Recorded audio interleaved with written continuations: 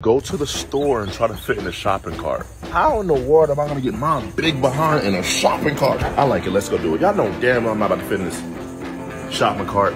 But if you're shorter than me, you already know. Hit that subscribe button. I just jumped in the Excuse me, do you work here? Uh, you have a Ross thing on you though. Oh, do you happen to have Ilbies for my baby daddy or no? Hey, yo.